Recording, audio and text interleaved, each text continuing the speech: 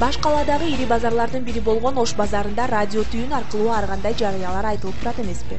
Анда батир берилет деген жарыя көп кездешери да факт.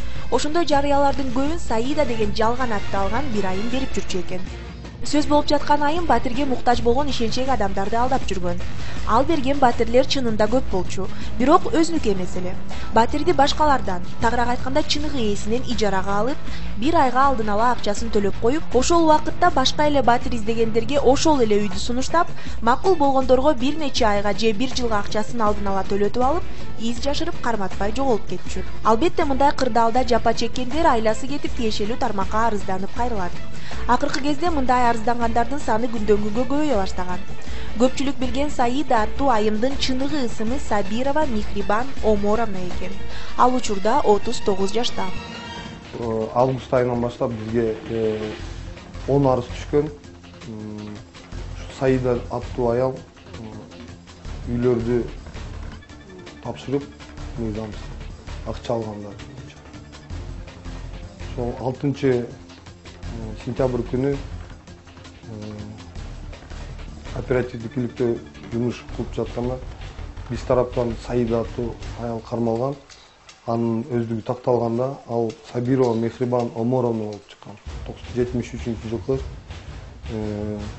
уйгур улутунда андан тышкары будан бөлөк дагы арыздар түшкөн. Азыр жалпы иш жыйырма төрт. Канчасын мойнуна алып жатат баардыгын кайсы статья боюнча жүз алтымыш төрт жүз алтымыш алты эки статья то есть уурулук и алдоо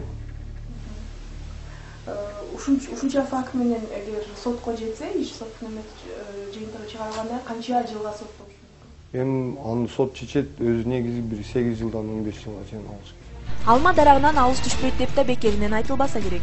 Өзү жашырганына карабай өспүрүм курактагы кылмышка шектүү делинген михрибан сабированын руслан деген уулу октябрь районунун ички иштер башкармалыгы тарабынан каракчылык фактысы боюнча издөөгө салынып жакынкы арада кармалыптыр ал эми өзү михрибан сабирова мындан үч жыл мурун да алдамчылык уурулук боюнча соттолуп бир жарым жыл темир тор артында отуруп чыккан. Сыягы бул жашоосунда болгон окуя сөз болуп жаткан айымга сабак болгон жок көрүнөт кантсе да арам оокат менен байыгысы келген аял колго түштү сколько времени прошло с того момента как вы с последнего судебного процесса? С первого процесса. С первого. Три года.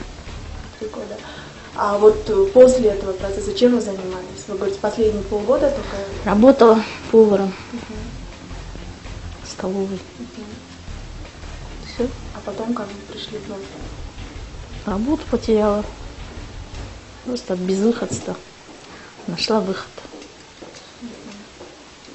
У вас есть семья дети? Сын. Сын один. Да. А где он сейчас? Чем занимается? Но я могу не не отвечать же на этот вопрос. Да можете. Чисто лично меня спрашивают. Насчет сына можно не спрашивать понятно. А муж есть? Нет я разведена. Сейчас э, по скольким фактам идет расследование? Ну чуть больше вы все это признаете да это все мое и не боитесь той участи которая вас может ждать впереди? Какие у вас вообще ощущения сейчас? Что вы чувствуете ничего не чувствую. Надо мной аллах есть. Аллах меня пусть накажет. Экрандан сиз көргөн жүз михрибан сабирова көптөгөн шоордулардын шоорун кайнатып акчасын илип кеткени тууралуу сөз болду. Эгер бул жүздү сиз да таанып мындан жапа чеккен болсоңуз ленин районунун ички иштер башкармалыгынын номер үч шаардык бөлүмүнө кайрылсаңар болот. Байланыш телефон номери ноль үч жүз он эки 44 44 57 0 312 44 44 57